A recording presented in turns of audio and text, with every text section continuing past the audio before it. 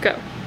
Hello, I am Jennifer Pahlka. I'm the founder and executive director of Code for America.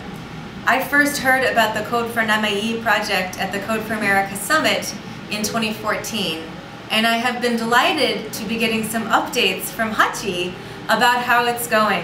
I think this project is one of the most difficult ones that any civic hacker group has ever tackled.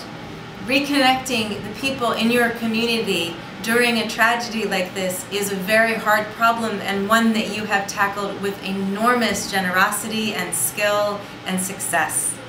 For all of the people around the world who felt very deeply about the tragedy that this community has endured, we thank you for this wonderful project that has done so much for the people of Namie.